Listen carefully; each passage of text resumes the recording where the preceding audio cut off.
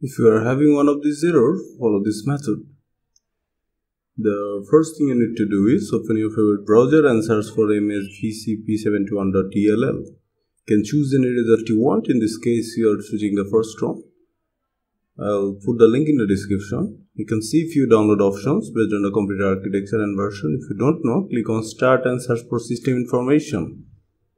Here you can see mine is a 64-bit PC. So in this case, I'll be downloading the first one. The download will be started.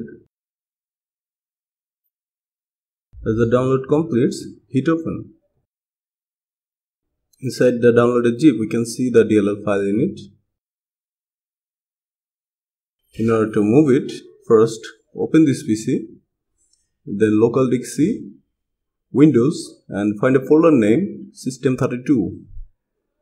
Here it is and then click on the downloaded zip, drag the DLL and drop and click on continue to give administrator access.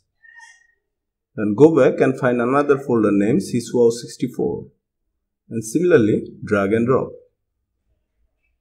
Click on continue and finally restart your computer.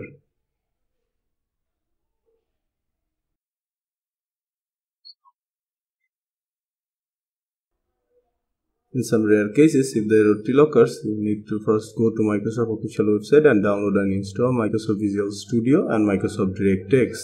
This is very easy, so you don't have any problem installing that. And do not forget to like and subscribe.